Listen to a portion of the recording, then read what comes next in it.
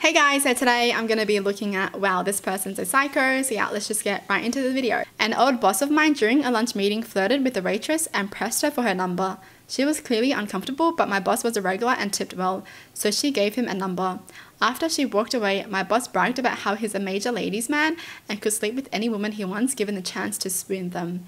He continued that conversation in detail for about 20 minutes before finally saying, I'm stressing all of this to you because I want you to understand how easy it would be for me to take your girl if you ever cross me. He then began to tear up and with a small sob said, Please don't make me wreck your life, man. That's the day I started searching for new jobs. Um, he just sounds insecure as shit. What kind of ego is that? That's actually funny as. No one laughed, but he began to tear up. Please don't make me ruin your life. Alright, bluff all you want, make yourself feel good all you want, but clearly the waitress did not like you. My ex-boyfriend bit his own arm till he was bleeding mid-argument talking about you made me do this.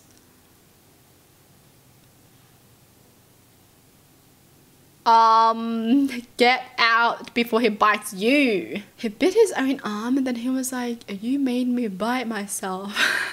Bro's been watching too many zombie movies. Like, come on. Had a friend in middle school. We would text a message on MySpace throughout the night talking about how we were vampires and all the vampire stuff we were getting into. One day she came to school legitimately angry at me because I had been lying about being a vampire.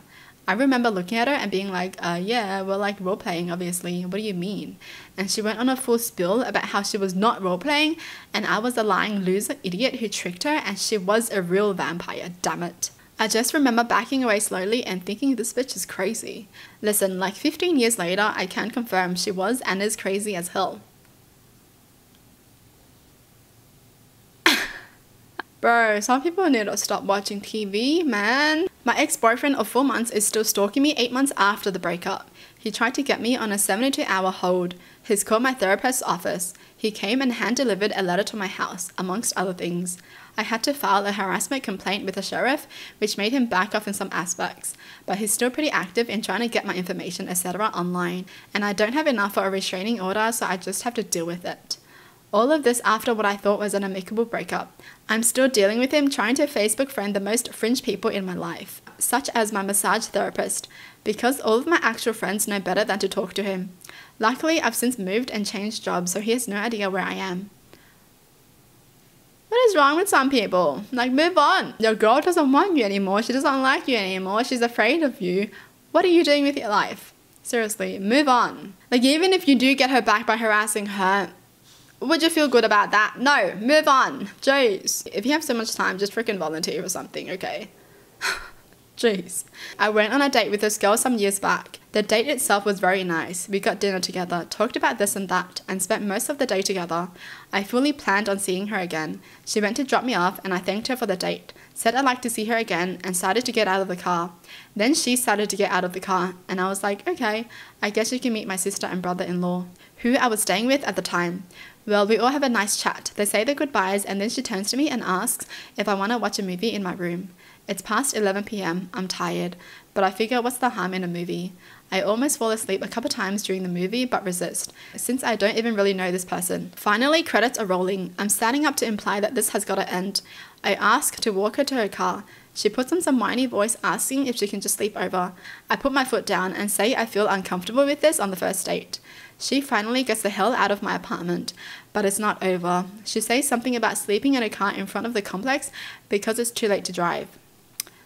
But I say that I'd rather know she gets home safe. She drives off. I try to sleep. About 3 a.m., she calls me about some guy that's at the pump at the same time as her, and she's scared. I say, okay, I'll stay on the phone until you're on the road and safe again. Whatever. She takes off again.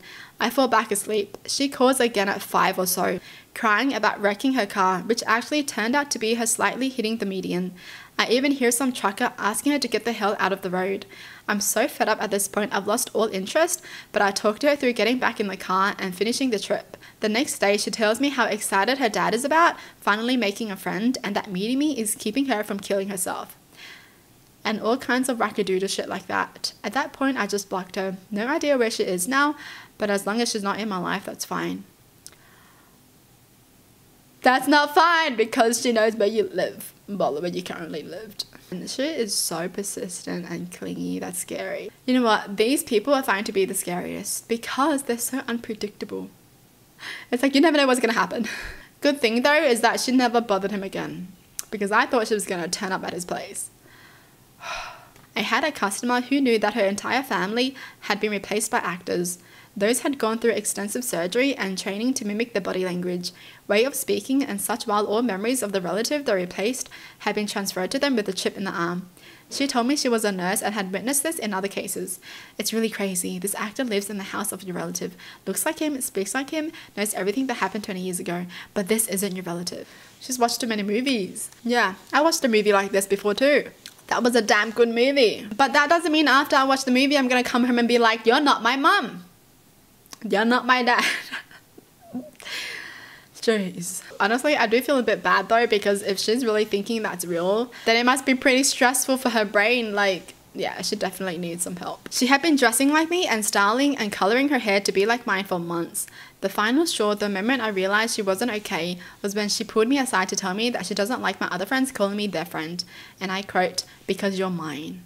Nope. After the friendship ended, she took to cyberbullying me and started dressing like her new friend.